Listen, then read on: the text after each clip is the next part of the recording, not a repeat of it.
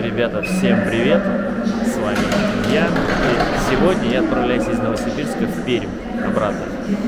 И город не хочет меня отпускать. Ну, вообще, небо стало под вечер мрачное, там собирается дождь, поднялся ветер на улице. Поезд мой опаздывает.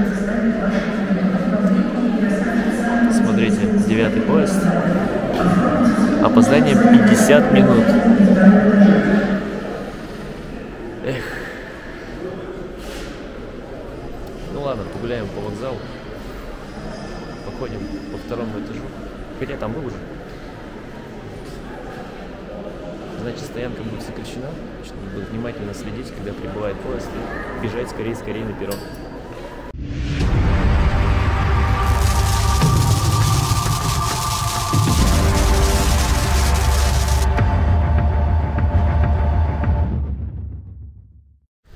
Ребята, я уже нахожусь на перроне. Сейчас объявляют, ну, приглашают пассажиров на посадку на второй путь, девятый поезд, который мне нужен, да, Владивосток-Москва. А, но на табло в, э, в вокзале не показывает, на каком пути стоит поезд. Показывает также опоздание и прибытие там ориентировочно в 22 часа 45 минут. Когда я подошел к своему вагончику, а, показал паспорт проводников, проводник сказал, что да, это девятый поезд, все, у вас 13 место, как бы, вот, следую в купе. Но прикол в том, что девятый поезд еще не пришел с Владивостока, он идет с опозданием. И там часть вагонов остается здесь, и с этих вагонов пассажиры пересаживаются в эти вагоны. Со второго по 14 здесь вагоны стоят, прям целый состав. Ну и, конечно же, какая- какая-то часть еще там остается в составе, э, в поезде девятом. Мы прицепимся и покатим дальше. Я так и не понимаю, с чем это связано. Возможно, какие-то больные вагоны, что ли. Непонятно. Но я понимаю, один вагон там больной, или два там, по кондиционеру какой-нибудь выцепят, или по колесам. Но чтобы вот так вот целый состав.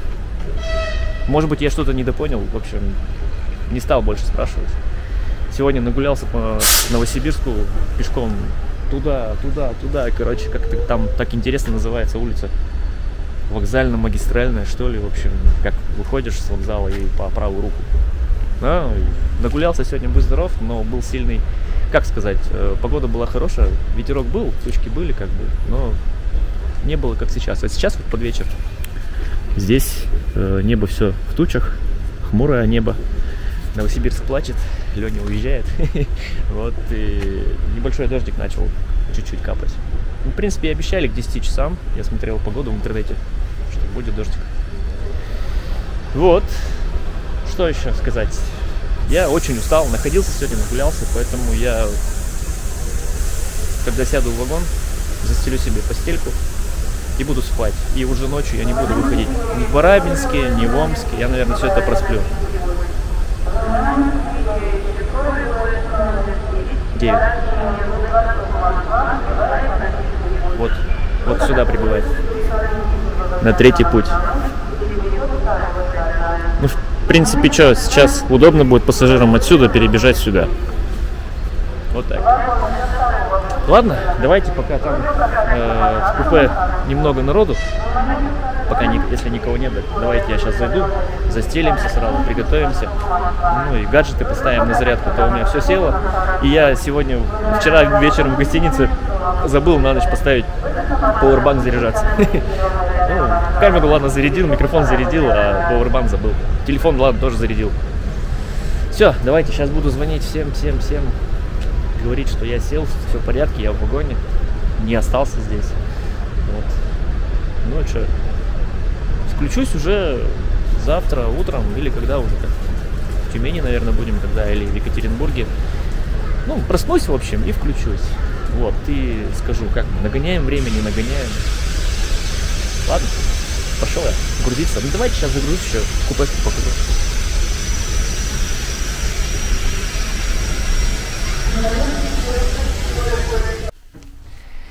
Так, вот, ничего не видно. Вот моя нижняя полочка. Давайте фонарик включим на телефоне. Сейчас включу быстренько. Сегодня, видите, у нас уже вечер. Поэтому свет-то большой не включили. Ага, вот, видите. У нас есть софиты же здесь. Ага, они не работают. Ясно. А здесь софит работает? Нет, не включен, значит. Ну вот, сейчас... Оп. Так вот сделаем. Вот она. Купешечка, белье у меня уже приготовлено. Сейчас застелюсь сразу. Разденусь. И будет все окей. Меня видно? Видно. Все, ребята, я застилаюсь, ложусь спать, включаюсь уже завтра.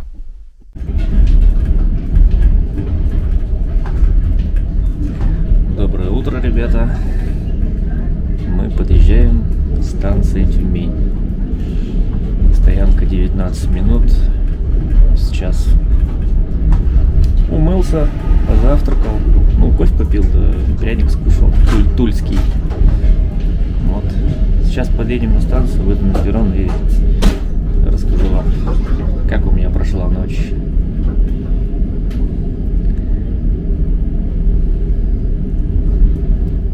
Ну вот, ребят, мы приехали, оказывается, с опозданием и быстро-быстро вот постояли, поговорили Всем с подписчиком. Спасибо большое, что встретил. Презент вручил, наклеечку, все как положено.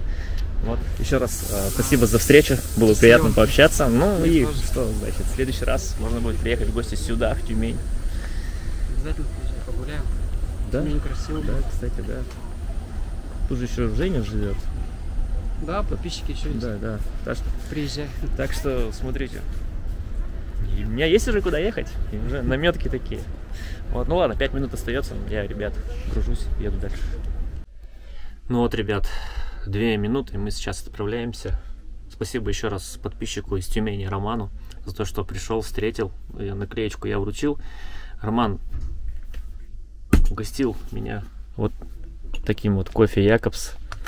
Блин, Роман, спасибо большое. Дорогой, конечно, кофе, но и я такое кофе не могу себе позволить. Ну, могу, конечно, но не часто. Ну, обычно беру что подешевле. Вот Роман подарил кофе Якобс и вот такой вот шоколад. Ага, молочный с начинкой трюфельной. Поглядите, какая прелесть, какая красота. И вот уже отправление. Ну, Роман отправления ждать не стал, ушел. Вот. Еще раз хочу поблагодарить Романа за кофе, за шоколад, за встречу. Спасибо большое. Вот. И Роман приглашает в Тюмень. Вот. И после поездки в Новосибирск, и потом у меня еще будет одна поездка, ребят. Э, После этого всего, как бы, время остается. Можно съездить в Тюмень, так как здесь еще, кроме э, Романа, еще подписчики живут. Здесь живет Евгений. Вот, и можно будет, наверное, съездить и до Тюмени. Но ближе уже к тому времени все будет ясно. Итак, давайте расскажу, как прошла ночь. А, Все легли спать. Пассажиры, естественно, были недовольны. В общем, рассказываю, в чем была причина. Произошла авария, сход 29 вагонов грузового состава, ну, грузового поезда. По станции, по-моему, свободная. Как-то так. Вот. По, э, при, э, когда сошли вагоны с рельс, а, задели опору ЛЭП, обрыв проводов, случился пожар, загорелся лес. В общем, пассажиры, которые до, до этого следовали поездом 9 а, Владивосток-Москва, их там эвакуировали, пересаживали часть пассажиров над другим поездом, уехали до э, Новосибирска, часть автобусами. Так вот, их привезли. И получается, что в Новосибирске э, сформировали новый состав, также под номером 9, Владивосток-Москва сообщением. Сформировали со 2 по 14 вагон. Поэтому на табло показано было э, опоздание, а я пришел, состав есть на втором пути и приглашают пассажиров на посадку. Ну вот, когда я пришел, я один, главное, что загрузился в вагон, сел и никого пока не было, а потом прямо кучей раз сразу пассажиры. Ну, как у них по билетам, какие места были, вот они расселились. Все крайне пассажиры недовольны тем, что произошла авария, недовольны тем, что у них получилось три пересадки. Вот здесь сверху едет пассажир, сейчас просто в соседнем купе.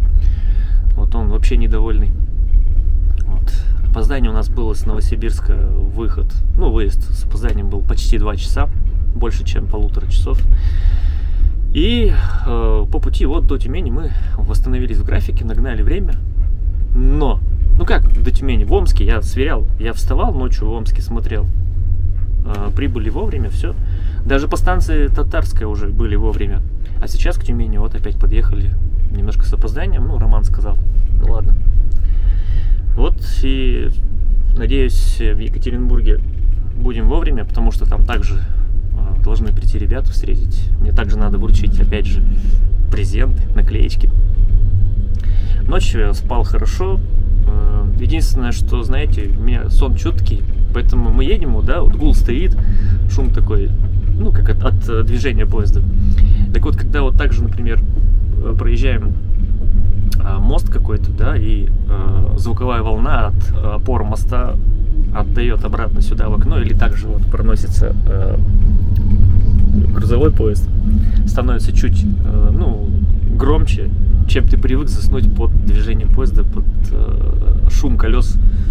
Э, ну, в общем, как будто вам на, скажем, минутку звук добавили резко, особенно когда скорость большая, и убавляет. И вот этих вот э, перепадов звуковых, и я просыпаюсь, потом усну, потом просыпаюсь, потом усну. Вот и так вот ночь была. И, э, понимаете, в Новосибирске время, два часа разницы с нашим, и по пермскому времени это еще не поздно, а по новосибирски уже уже спать пора ложиться, и мне вот непривычно, поэтому все пассажиры легли спать, все спят, а я лежу и, и долго не мог уснуть. И, короче, потом все-таки уснул. Вот. Спросил, есть ли вагон-ресторан здесь в поезде. Вагона ресторана нет. А, с собой у меня еды практически не было. Был кофе три в одном. И вот я у проводника. Брал пряники. Один еще остался, тульский пряник. Думал, два съем. Видите, он большой. Один скушал и все. Сейчас, значит, что делаю? Раз пришли с опозданием, пока разговаривали, стояли с Романом на перроне. Вот, и что? Я не успел сбегать в какой-то там киосочек, что-то купить, покушать. Пойду проводнику. Слава богу, что перед тем, как сесть в поезд, я в Новосибирске сходил в банкомат и снял наличные деньги. Ну, знаете, в дороге связи нет. Если даже бы и был бы вагон-ресторан, в принципе, я для этого и снимал наличные деньги, что я пойду в вагончик и там за наличку буду рассчитываться, потому что связь не всегда в дороге есть, карты расплачиваться-то. Все, тогда я сейчас пойду к проводнику. Наверное, возьму что-то такое. Лапшу быстрого приготовления, что еще. Вот и буду обедать по обеду. И следующая станция у нас Екатеринбург. Больше нечего пока добавить.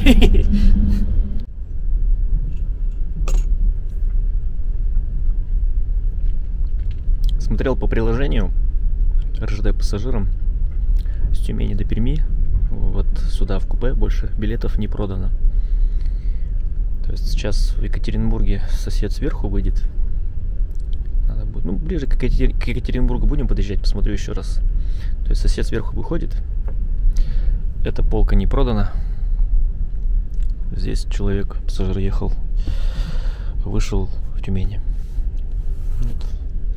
Если так и дальше пойдет, то до Перми от Екатеринбурга я вообще один поеду в купе.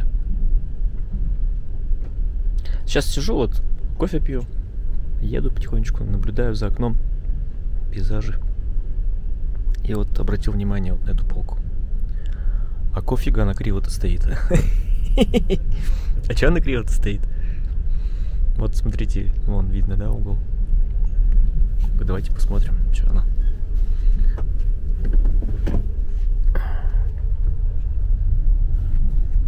Смотрите, вон перекручивали, видимо, уже.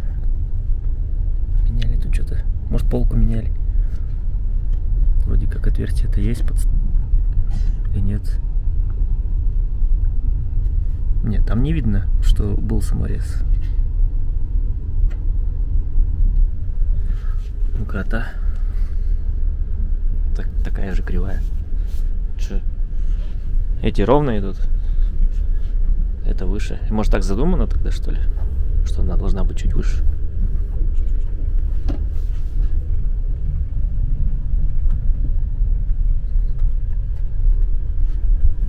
Казалось, по-моему, что они вровень все шли. Вот на, ну, здесь ниже, здесь выше. Тоже, да, вот, вот эти две ровные идут, а это чуть выше.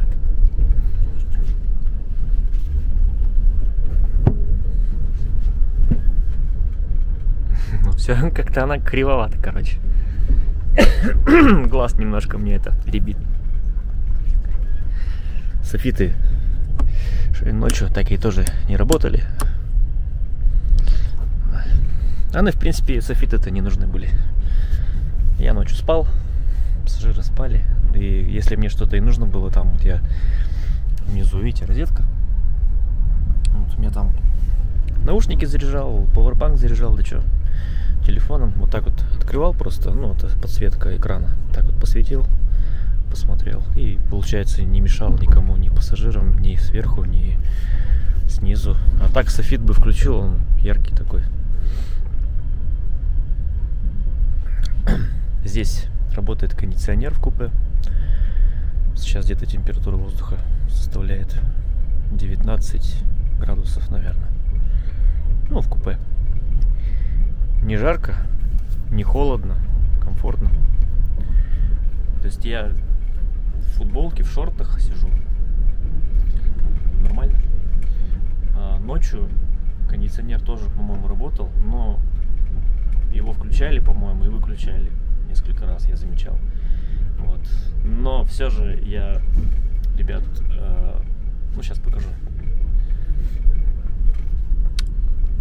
Сначала, вот видите, как бы здесь даже не просто, а нет, да, не просто здесь, видите, а этот пододеяльник. Вот, можно было плед-то туда завернуть, в пододеяльник. Вот, я сначала им укрылся, спал как бы нормально, а потом, видимо, уже совсем ночью глубокой стало на улице прохладнее, и кондиционер-то еще работает тут. Так. Подзамерз, залез, взял плед себе, укрылся. Вот. Сейчас у нас что? Екатеринбург через 3 часа 40 минут. Да. Ну, через три с половиной часа, в общем, Екатеринбург. Я покушал. Ничего такого нормального у проводника в чайке. Ну, из еды. Я имею в виду, что нет. Лапша быстрого приготовления роллтон, либо пюрешки. Все остальное это сладости. Кондитерские изделия к чаю. В общем, вот. Взял лапшу, сделал ее, ну, поломал ее, в общем, сделал как супчиком. Попросил у проводника большую ложку нормальную. Вот, покушал. Ну а что, есть хочется, надо как-то червячка заморить. Вот, лапшу поел, кофе себе заварил. Вот у меня остался последний три в одном пакетик. А после лапши вот что-то не захотелось мне ни пряник, ни шоколадку. Шоколад вообще, наверное, вкусный, привкусный, но вот после Екатеринбурга, наверное. Испробую шоколадку. А может нет. Нет, кстати, не буду. Я домой его везу. Так вот, я его дома съем. Вот спасибо Роману большое, прибольшое. Буду первую серию монтировать сидеть. Заварю себе Якобс кофе. Я куплю сливки дома в магазине. Заварю себе Якобс вот, со сливками кофе. Открою шоколадку. Поставлю все это так вот на стол, ну, рядышком. И буду сидеть монтировать первую серию, как я поехал в Новосибирск. Это будет классно. С одной стороны, многие скажут, классно путешествовать одному в купе, да? Кто тебе не мешает? С одной стороны, да. С другой стороны, если у вас соседи хорошие, общительные, то вам скучно будет здесь одному ехать. Вот сверху сосед. Общительный дядька, хороший. Но у него там своя компания, и он ушел туда к своим купе. Тем более они в Екатеринбурге все выходят. Он даже кружку свою отсюда забрал, вещи частично забрал туда. Сказал, я там буду. Ну ладно. Еду один. Вот. За окном мы проезжаем. Какую-то станцию проехали. Забыл прочитать.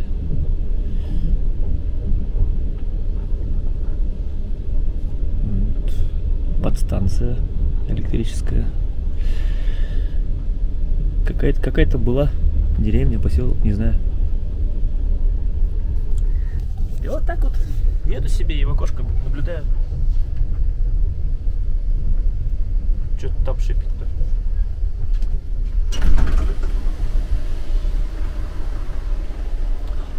Это пылесос работает.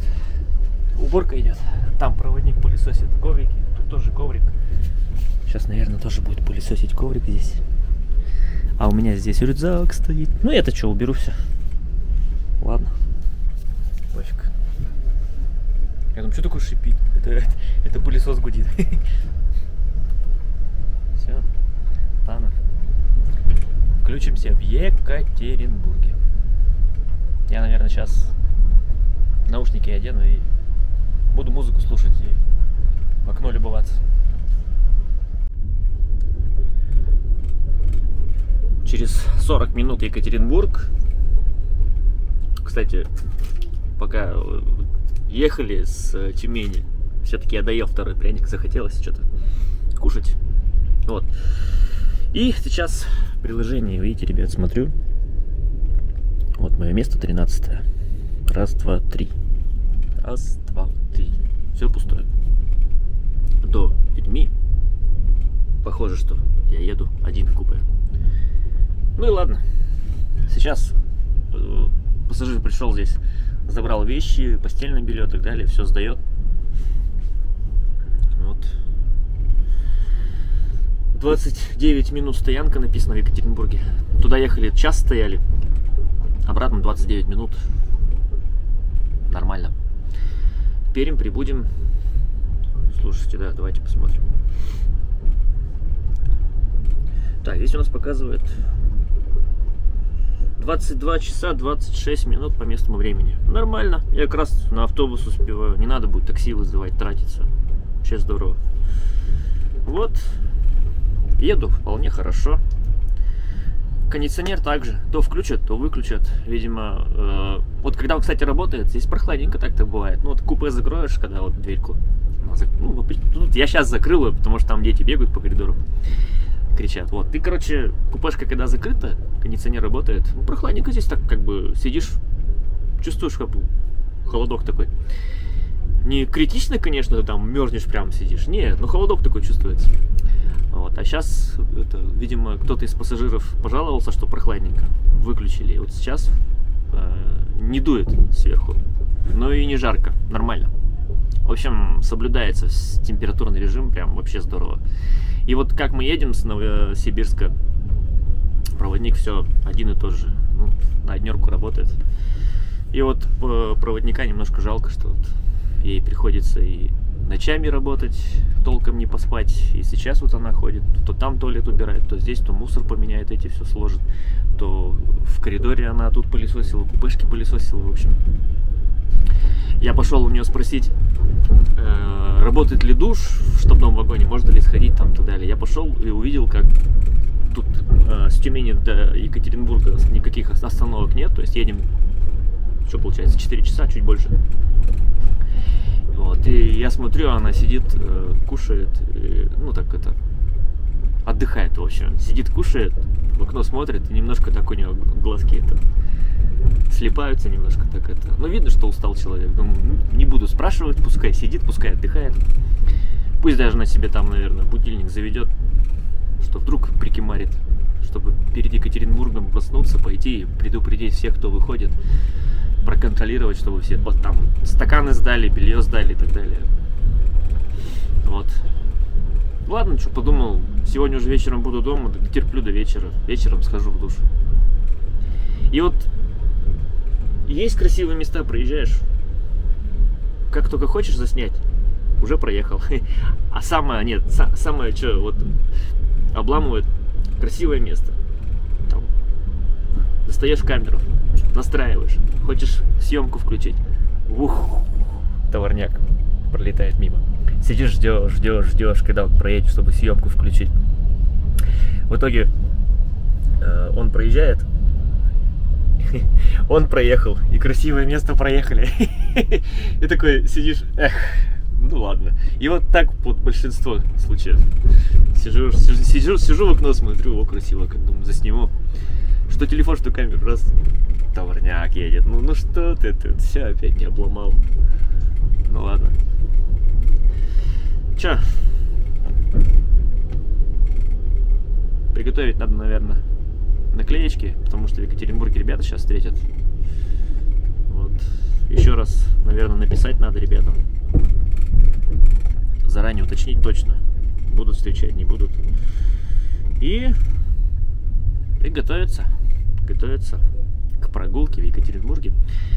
Пряник съел, но он сладкий, а я сладкое так, знаете. Я вот чай сладкий пью с сахаром.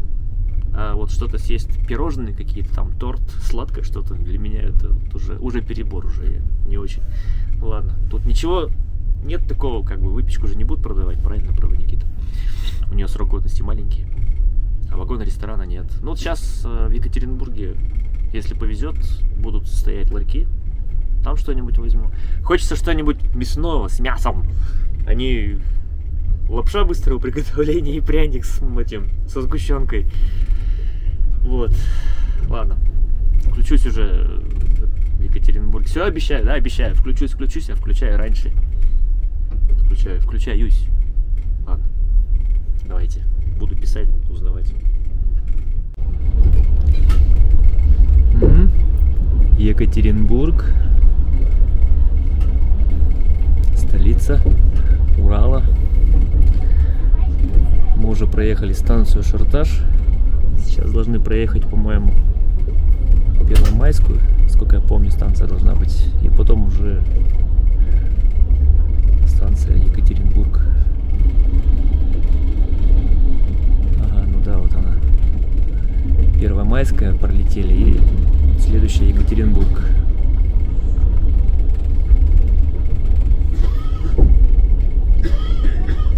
На улице, я так понимаю, жарко. Ну да, в принципе, в интернете смотрел 27 градусов. То есть, когда я три дня назад ехал в Новосибирск, то я выходил уже в куртке здесь. Не очень-то и тепло было. Или не помню. По-моему, в куртке я был. Но в куртке, в штанах точно был. Сейчас буду выходить в футболке, в шортах. Жарко на улице.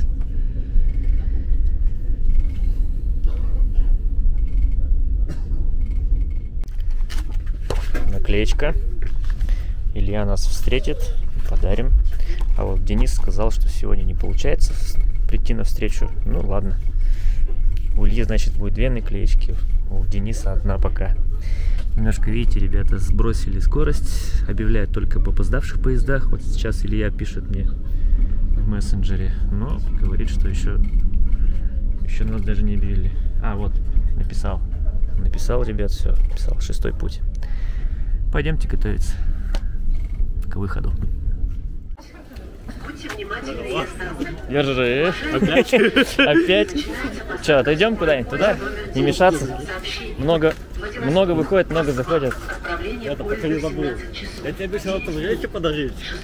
Ну, подарю сейчас. Я не знал, какой ты любишь, поэтому извини. Кофе? Да. Ладно, я позже скажу. Ну, нет, спасибо, конечно, большое. Я серьезно, я не знал, какой ты любишь, поэтому Кофе, заказал. кофе натуральный, ребята. Все, я теперь кофе обеспечен на полгода точно.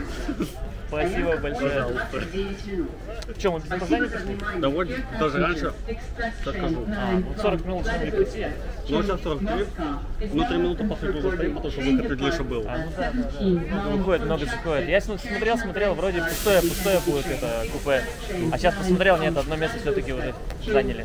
Я это живем. Значит, до Перми мы вдвоем с кем-то поедем. Кто-то подсядет на нижнюю полку. Что, не разложиться на это, это купе. Да, давай это, к этой отойдем куда-нибудь подальше. Ладно, ребят, время есть, мы сейчас прогуляемся. Поищем что-нибудь мясное. Как всегда, времени поболтать мало. 86 Екатеринбург, Видно, не видно, 5 минут до отправления. Все, спасибо за встречу. Еще раз наклейку заработал. Молодец. Состав по частям собираю просто. Ну да. Дома будет все потом необходимое. Я вот чисто, знаешь, коллекцию пару где-то вот оттуда взять и придать домой. Вон там есть там У меня и говорю, забрать собрать вагон.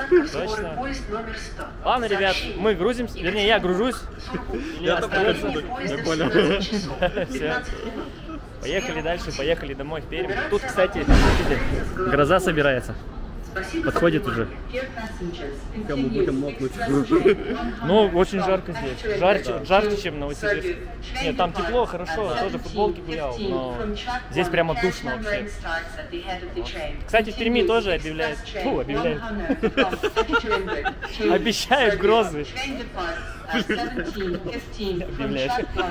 Зеленый говорит, кстати, все. Да, все, Мне пора, я поехал. Давай, зеленого. Давай, счастливо. Ребята, грузимся.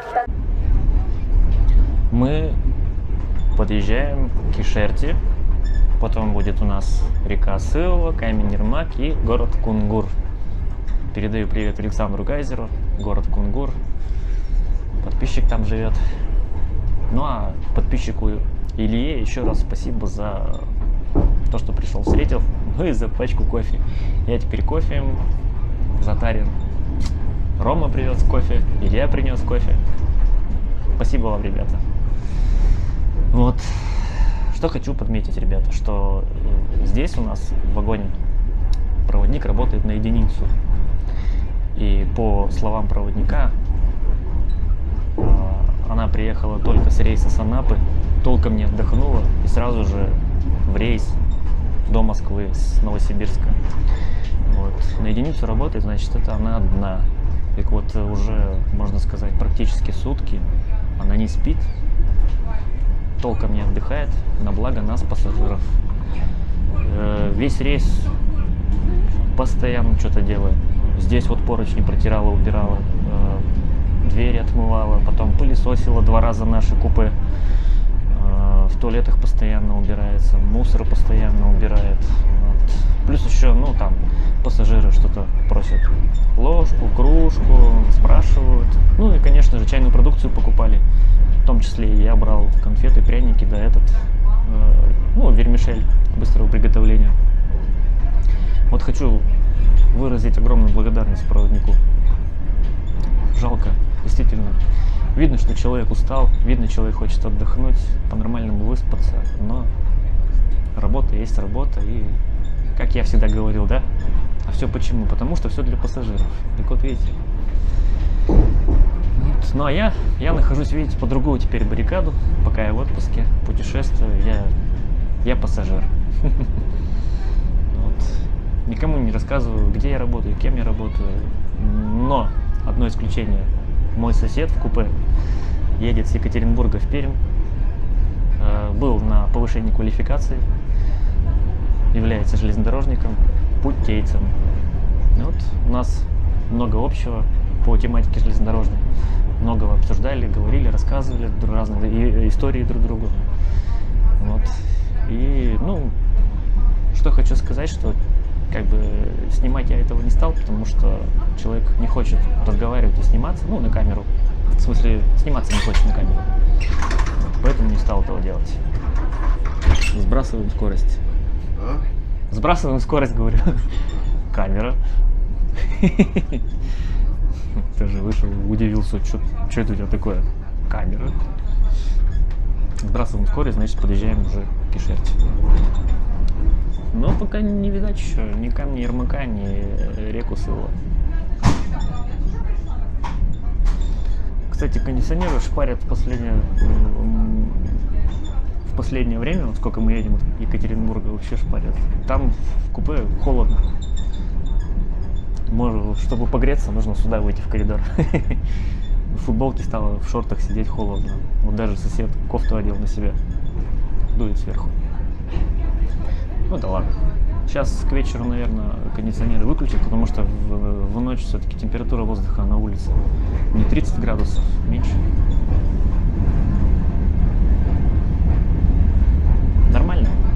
еще, получается, что у нас сейчас? Через 10 минут Кунгур, через 2 часа Пермь, и я дома.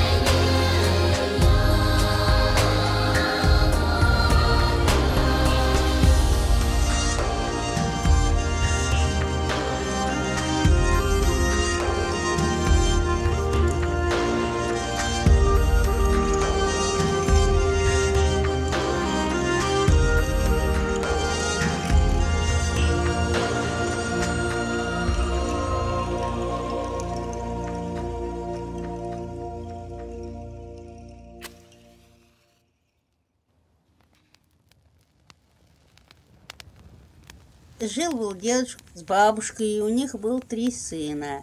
Жили они хорошо, и был у них посев, сильный посев. И вот у них стал кто-то ночью есть пшеничку. Отец говорит, сынки, вас трое, давайте караулить. Один пошел, сынок, старший, взял горбушку хлеба, поел, пришел, лег, уснул, приходит домой. Никого я, отец, не видал, никого не слыхал. Он всю ночь проспал. Теперь второй умный сын идет. Пришел тоже, лег, уснул, до утра проспал, ничего не видал, никого не слыхал. А пшеничка единая, как ночь, так единая. Ну, теперь Ванечку дурачку. Идти. Ванечка дурачок взял пол хлеба, взял веревку, сделал ее салмой, чтобы накинуть, кто б там бы не был. И лежит. Сам горбушку хлебу плетат, а сам на ней звезд шитат. Сколько звездов, лишь бы не уснуть ему. И вот самый полночь бежит конь. И стал есть пшеницу. Он теперь подкрадился, как салмой накинет ее, и в раз задержал он на шею прям петлей. Ну, вот теперь мы узнали, кто у нас есть пшеничку. Стал он просить, пусти меня, я тебе пригожуся. Я больше вашу пшеничку не буду есть, а тебе пригожусь, только пусти меня на волю. Ну ладно, я пушу, поверь тебе. Только не обмани, нет, я тебе буду служить, как ты меня пустил на волю, и я тебе услужуся.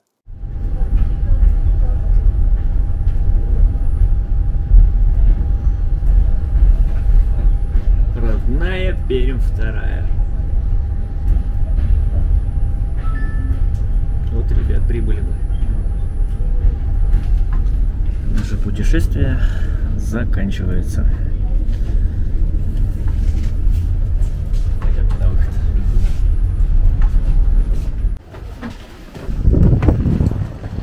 Спасибо вам за комфортную поездку. До свидания. Так, где-то у меня здесь главный помощник по монтажу жаждет крови. А, вот он идет. Смотрите, смотрите, вот а. А что такой ветер-то здесь? А тут вообще жопа полная. Я тебе говорю. О, ребята, что-то ветер здесь такой. Ну сейчас дождик будет, ты что, уже поливает, да? А не думаешь? Тогда надо срочно бежать отсюда. Да, да, Ребята, на этом ролик заканчивается. Короче, все, закончилась наша поездка, ребят. Все хорошо, мне все понравилось. Сейчас, минуточку, минуточку. Тут подвинусь немножко. Вот, город Новосибирск мне очень понравился. Ты где? Я тут, я тут, я тут. Все. в общем, помощник по монтажу здесь, все в порядке. Мы сейчас быстренько базируемся. Вернее, садимся, едем домой, все. Вот, и точно дождик пойдет. Давайте с вами прощаться. И что? Что, что хотел сказать? Мне все понравилось, все классно, все круто. Еще раз повторюсь, город Новосибирск. Хороший город. И что? Следующая моя поездка будет уже Кисловодск. Всем пока. До новых свежих видеороликов. Пока-пока-пока!